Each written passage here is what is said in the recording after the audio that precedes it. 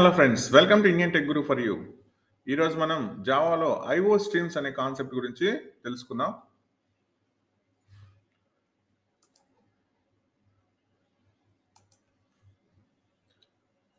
IO streams. జనరల్గా మనం ఒక జావా ప్రోగ్రామ్ రాసి దానికి ఇన్పుట్ కావాలంటే మనం కీబోర్డ్ నుంచి ఇన్పుట్ ప్రొవైడ్ చేస్తాం.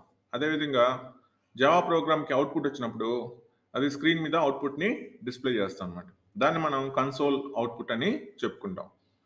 సో ఇది మనకు తెలిసిన విషయమే. కాబట్టి ఒక జావా ప్రోగ్రామ్కి ఇన్పుట్ ఎక్కడి నుంచి వస్తుంది? కీబోర్డ్ నుంచి ఇన్పుట్ వస్తుంది. అదేవిధంగా అవుట్పుట్ ఎక్కడికి వెళ్తుంది? మానిటర్ ఆర్ కన్సోల్ కన్సోల్కి అవుట్పుట్ వెళ్తుంది. ఇది మనకు తెలిసిన విషయమే. కానీ ఇక్కడ ప్రాబ్లం ఏంటంటే ఈ particular Java program huge amount of డేటాని ఇన్పుట్గా తీసుకుంది అనుకోండి ఫర్ ఎగ్జాంపుల్ ఒక మ్యాట్రిక్స్ ఉంది. Two matrix multiply two matrices multiply చేయాలి. సో ఆ టూ మ్యాట్రిసెస్ కూడా పెద్ద పెద్ద matrices twenty by twenty matrices అనుకోండి. సో మ్యాట్రిక్స్ ఏకి ట్వంటీ బై ట్వంటీ మ్యాట్రిక్స్ అంటే ఫోర్ హండ్రెడ్ ఎలిమెంట్స్ ఇవ్వాలి. మ్యాట్రిక్స్ బికి ట్వంటీ బై ట్వంటీ అంటే ఫోర్ హండ్రెడ్ ఎలిమెంట్స్ ఇవ్వాలి. మొత్తం ఓవరాల్గా ఎయిట్ హండ్రెడ్ ఎలిమెంట్స్ మనం కీబోర్డ్ నుంచి ఇన్పుట్ ఇవ్వాలి. కానీ ఈ విధంగా ఇచ్చిన తర్వాత ఒకవేళ ఆ ప్రోగ్రాము ఆ ప్రోగ్రాంలో లాజికల్ ఎర్రర్ వచ్చింది అనుకోండి అటువంటిప్పుడు ఏమవుతుంది? ప్రోగ్రాము కరెక్ట్ అవుట్పుట్ని ఇవ్వదు. కాబట్టి మరలా మనం ఏం చేయాలి? మరలా ఫోర్ హండ్రెడ్ ఎలిమెంట్స్ ఏ మ్యాట్రిక్స్కి ఫోర్ హండ్రెడ్ ఎలిమెంట్స్ బి మ్యాట్రిక్స్కి ఇవ్వాలన్నమాట. సో దానివల్ల మనకి టైం వేస్ట్. అదేవిధంగా ఈ డేటా అంతా కూడా ఏదైతే మనం కీబోర్డ్ నుంచి ఇస్తాం ఈ డేటా అంతా కూడా టెంపరీ డేటా. టెంపరీగా స్టోర్ అయి ఉంటుంది. పర్మనెంట్ డేటా కాదనమాట. టెంపరీగా ర్యామ్లో స్టోర్ అయి ఉంటుంది. ఎప్పుడైతే మనం కంప్యూటర్ షట్ డౌన్ చేస్తామో ఈ డేటా ఉండదు. లేదా నెక్స్ట్ ప్రోగ్రామ్ని కంపైల్ చేసి ఎగ్జిక్యూట్ చేస్తామో ఈ డేటా ఉండదు. కాబట్టి సో దీనికి సొల్యూషన్ ఏంటంటే ఏదైతే data huge amount of data మనం ఇన్పుట్గా ఇవ్వాలి ఇవ్వాల్సి ఉంటుందో ఆ డేటాని ఇప్పుడు మనం ఏం చేస్తాం అంటే ఒక ఫైల్లో స్టోర్ చేస్తాం. దాన్ని మనం డేటా ఫైల్ అని చెప్పుకుంటాం. డేటా ఫైల్ అని చెప్పుకుంటాం. ఫర్ ఎగ్జాంపుల్ నేను ఇన్పుట్ డాట్ టీఎక్స్టీ అనే ఒక ఫైల్ని నోట్ ప్యాడ్లో ఓపెన్ చేసి సో దాంట్లో ఈ ఫోర్ హండ్రెడ్ ఎలిమెంట్స్ ఏ మ్యాట్రిక్స్కి తర్వాత ఫోర్ హండ్రెడ్ ఎలిమెంట్స్ బి మ్యాట్రిక్స్కి ఇచ్చి పెడతాను అనమాట ఇచ్చి ఈసారి నేను కీబోర్డ్ నుంచి ఇన్పుట్ని తీసుకోకుండా ఎక్కడి నుంచి తీసుకుంటాను? ఫైల్ నుంచి తీసుకుంటాను. ఈ ఫైల్ నుంచి ఇన్పుట్ని తీసుకొని ప్రోగ్రామ్ని కంపైల్ చేసి ఎగ్జిక్యూట్ చేస్తాను. ఇన్ కేసు ప్రోగ్రాము ప్రోగ్రామ్లో ఏమైనా ఎర్రర్స్ ఉంటే లాజికల్ ఎర్రర్స్ ఉంటే నో ప్రాబ్లం మళ్ళీ నేను ఇన్పుట్ ఇవ్వాల్సిన అవసరం లేదు. ఎందుకంటే ఇన్పుట్ ఆల్రెడీ పర్మనెంట్గా స్టోర్ అయింది.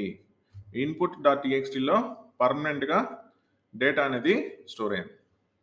అది డేటా ఫైల్స్ వల్ల అడ్వాంటేజ్ అనమాట చిన్న చిన్న ప్రోగ్రామ్స్ ఓన్లీ లిమిటెడ్ ఇన్పుట్ ఇవ్వాలనుకుంటే మనం డేటా ఫైల్స్ని యూజ్ చేయాల్సిన అవసరం లేదు.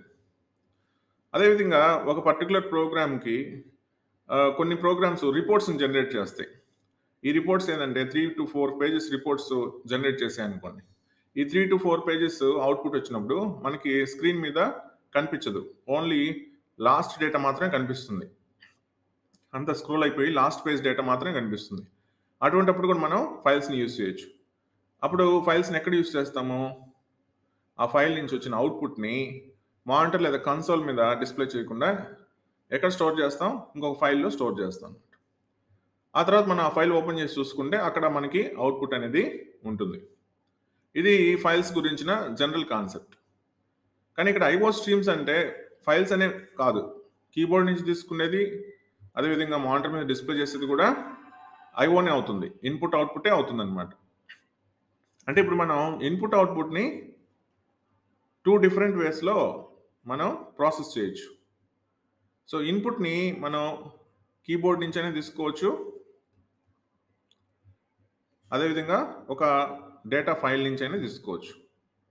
అదేవిధంగా అవుట్పుట్ని మనం కన్సోల్ మీదైనా డిస్ప్లే చేయొచ్చు. లేదంటే ఇంకొక ఫైల్లో అయినా స్టోర్ చేయొచ్చు. ఈ రెండు కూడా టెంపరీ ఈ రెండు కూడా పర్మనెంట్ సో యాజ్ యూజువల్ మిగతా ప్రోగ్రామింగ్ లాంగ్వేజ్ ఎట్లయితే ఫైల్స్ని సపోర్ట్ చేస్తాయో జావా కూడా ఫైల్స్ని సపోర్ట్ చేస్తాయి. సో జావా ఫైల్స్ జావా ఫైల్స్ని మనం ఏం చెప్పుకుంటాం అంటే ఫైల్ ఐఓ స్ట్రీమ్స్ అని చెప్పుకుంటాం. ఫైల్ ఐఓ స్ట్రీమ్స్ అని చెప్పుకుంటాం. సో జావాలో స్టాండర్డ్ ఇన్పుట్ డివైస్ని సిస్టమ్ డాట్ ఇన్ అని స్టాండర్డ్ అవుట్పుట్ డివైస్ని సిస్టమ్ డాట్ అవుట్ అని రిప్రజెంట్ చేస్తాం. System dot in system dot out అని రిప్రజెంట్ చేస్తాం. మరి ఫైల్స్తో మ్యానిపులేట్ చేయాలంటే మనకి ఖచ్చితంగా కొన్ని ప్రీ డిఫైన్ క్లాసెస్ కావాలి. ఈ ప్రీ డిఫైన్ క్లాసెస్ అన్నీ కూడా జావా డాట్ ఐఓ ప్యాకేజ్లో ఉంటాయి. ఏ ప్యాకేజ్లో ఉంటాయి? జావా డాట్ ఐఓ ప్యాకేజ్లో ఉంటాయి. ఇప్పుడు ఒకసారి మనం Java dot IO package open చేసి డాక్యుమెంటేషన్లో సో ఈ పర్టికులర్ ఫైల్స్ జావా డాట్ ఐఓకి సంబంధించిన ఫైల్స్ ఏమి ఉన్నాయి ఏ విధంగా మనం యూజ్ చేస్తాం అనేది ఒకసారి చూద్దాం.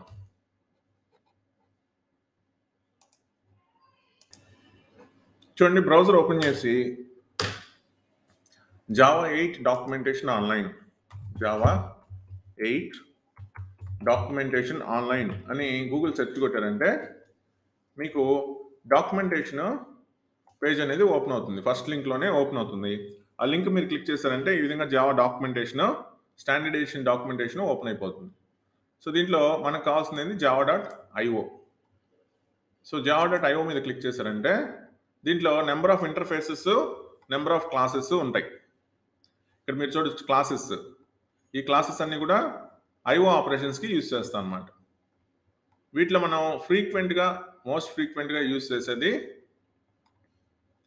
మోస్ట్ ఫ్రీక్వెంట్గా యూజ్ చేసేది input stream output stream. So ఇక్కడ చూడండి input stream input stream class ఉంది. ఇది దీనికి సూపర్ క్లాస్ ఏంది? Object class. అదేవిధంగా అవుట్పుట్ స్ట్రీమ్.